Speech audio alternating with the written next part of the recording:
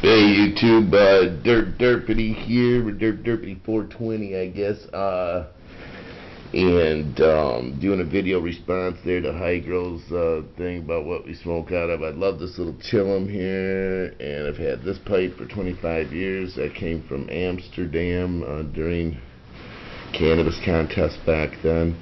Um, but I used to have the exact same little bubbler it just broke like two seconds ago. I was trying to clean it for this video and this came off and this split right down the middle.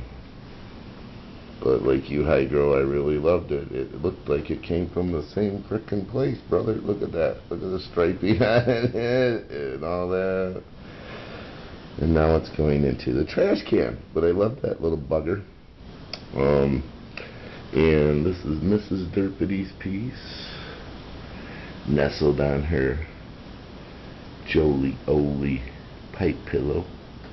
So anyhow, that's that's what we got here, man. That's what, we, what we're smoking out of and what we were smoking out of. Uh, um, used to have a nice C2 bong, and that got broken. So stuff's getting broke around here, man. The, the dirt, the dirt. a little sad about about watching his glass collection go go by the wayside, but I sure did like this little guy, and I know what you mean, how you go. Alright, guys.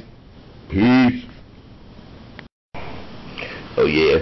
I wanted to show you this, too, man. Um, you know, I can't afford that, that $5 pack of papers like, like you got. I wish I could, man, but, um, you know, that's got the little magnet on it, too, and we really like the Elements papers as well. So, that was the other thing I forgot to show you. Alright, man. Peace. Or in this case, pieces.